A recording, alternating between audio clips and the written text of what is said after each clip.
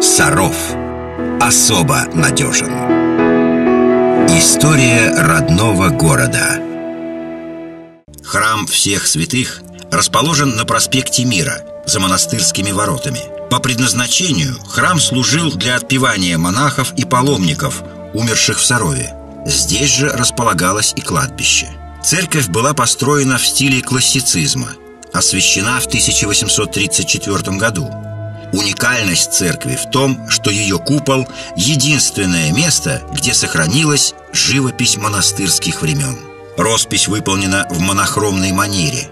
Сюжет росписи очень редкий и представляет собой эпизод из Откровения Иоанна Богослова «Апокалипсис».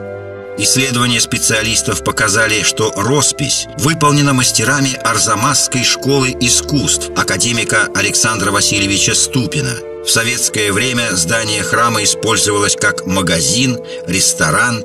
Освящение восстановленного храма состоялось 6 февраля 1993 года.